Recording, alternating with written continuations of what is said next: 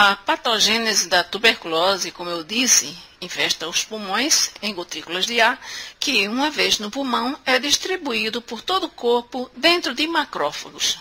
É um patógeno intracelular facultativo que inibe a fusão do fagolisossomo.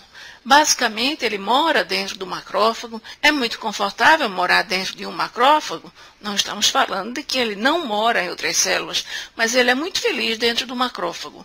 O macrófago não mata esses micro-organismos, não são mortos nem mesmo pelos macrófagos ativados, ativados pela resposta imune.